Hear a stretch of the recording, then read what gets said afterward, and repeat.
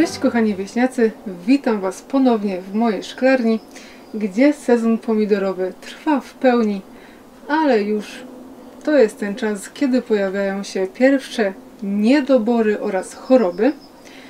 Na szczęście choroby na razie nas omijają, a przynajmniej się zatrzymały, bo jak widzieliście e, w poprzednim filmie szklarniowym były delikatne kropeczki na przodzie szklarni, ale choroba się zatrzymała, ponieważ już cały czas jest otwarta szklarnia, także wietrzenie jest cały czas i jest ok. Niestety przez upały i susze dopadł nas problem suchej zgnilizny wierzchołkowej. Jak wiecie, nie jest to żadna choroba, jest to jedynie właśnie niedobór wapnia. I zobaczycie, jak sobie łatwo z tym poradzić. To znaczy, my będziemy po raz pierwszy to testować, ale właśnie chcemy dolistnie uzupełnić wapń w łatwo przyswajalnej formie. Kochani, zanim zaczniemy pryskać wapniem, to koniecznie y, zbiorę wszystkie takie lekko zarumienione, zaczerwione pomidorki. Z tego względu, że no, lepiej jednak to zebrać przed każdym opryskiem. Także chodźcie za mną.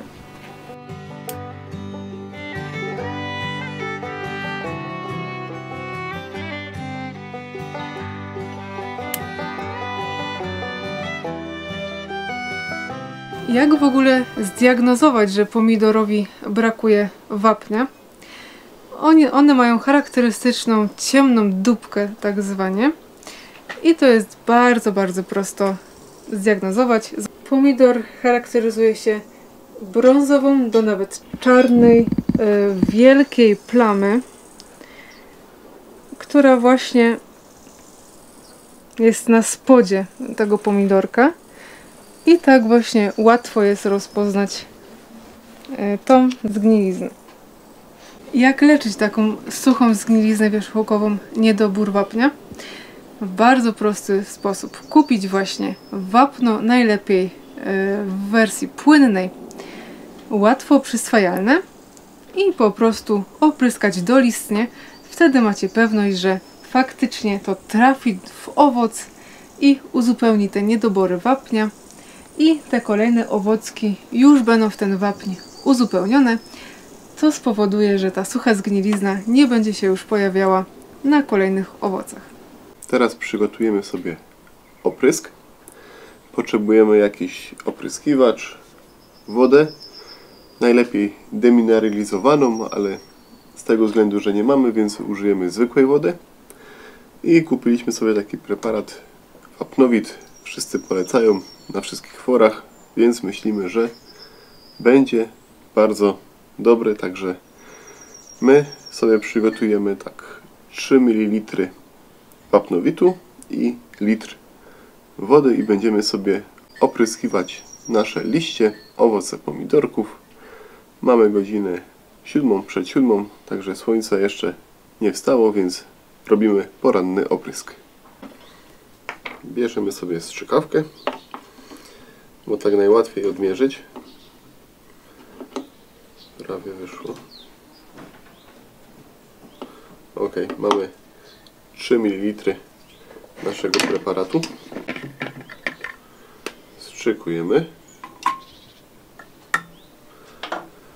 Uzupełniamy do litra. Dzień dobry, widzę.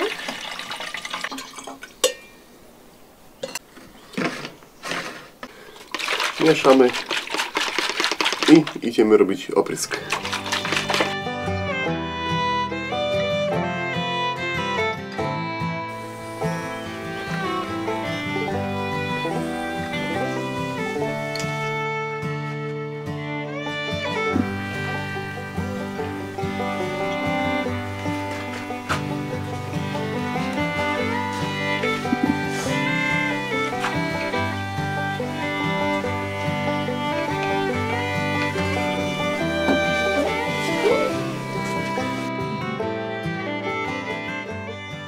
Kochani, tak się prezentują pomidorki po oprysku wapniowym.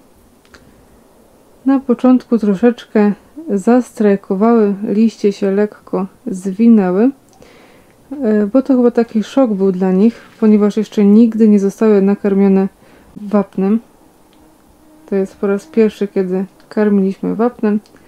Wcześniej dawaliśmy tylko na spód e, pomielone skorupki jaj, bardzo drobno pomielone.